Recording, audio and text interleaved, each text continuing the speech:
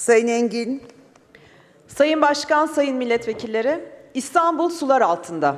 Altyapı sefaleti ve basiretsiz AKP belediyeciliği hayatımızı felç etti.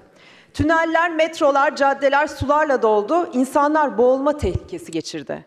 İstanbullular olarak bu sefaleti ilk kez yaşamıyoruz.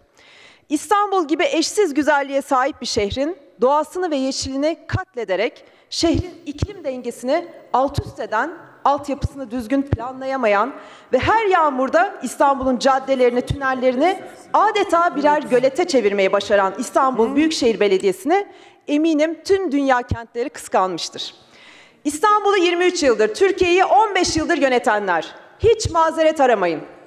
İstanbul'u mukaddes bir emanet değil, rant kapısı olarak görerek sadece bugünkü İstanbullulara değil, İstanbul'da yaşaya, yaşayacak gelecek nesillerimize de en büyük kötülüğü yaptınız. Eserinizle övünebilirsiniz.